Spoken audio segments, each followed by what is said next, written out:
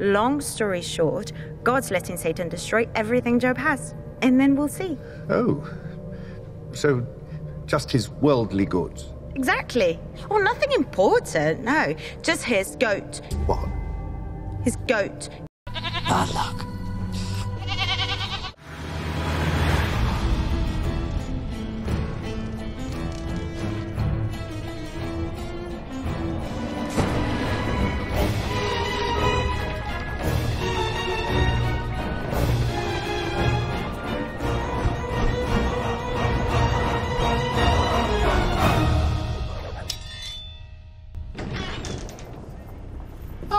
Maggie.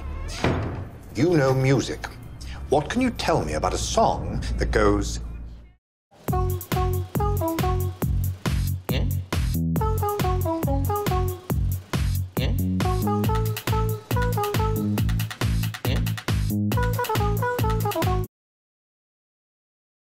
My daddy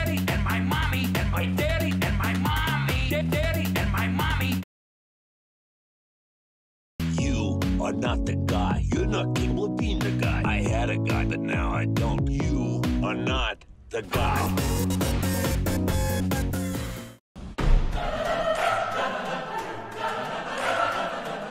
Every day. It. What exactly are you doing? Oh, I thought I'd make the books easier to find. So I thought if I put them in alphabetical order. Alphabetical. By author? What's author?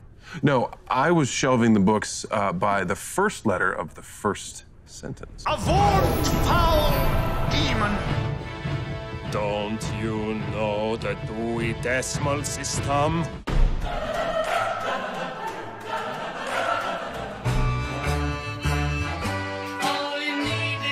Uh, um, love.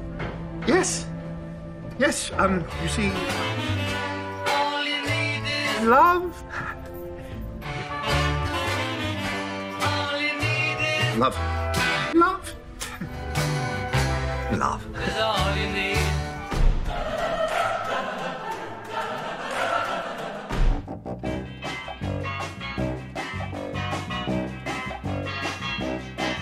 In the middle of the earth, in the land of Sure. there lives a brave little Shoemaker. whom we all admire with his long wooden pipe, fuzzy woolly toes.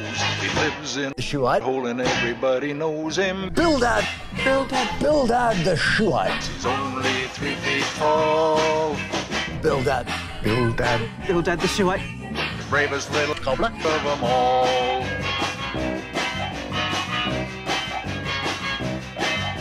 The Shuhites are peace-loving folks, you know.